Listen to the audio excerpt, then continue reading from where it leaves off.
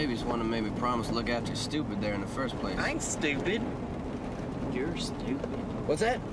Nothing. Know something, Earl? You're dumber than Junior. You just plan on walking in there and getting that bag back. I ain't dumb. You're dumb. Damn it, Junior! You're so damn dumb they had to burn down the school to get you out of third grade.